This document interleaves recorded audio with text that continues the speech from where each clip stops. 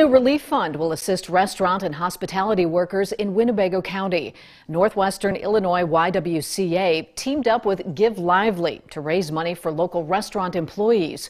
Donors can choose to make a one-time month or monthly gift for out-of-work servers impacted by the pandemic.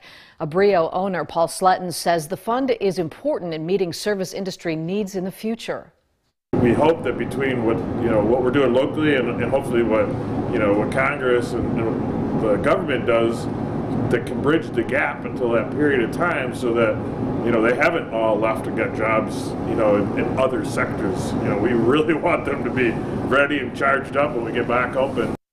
Find links to donate on our website mystateline.com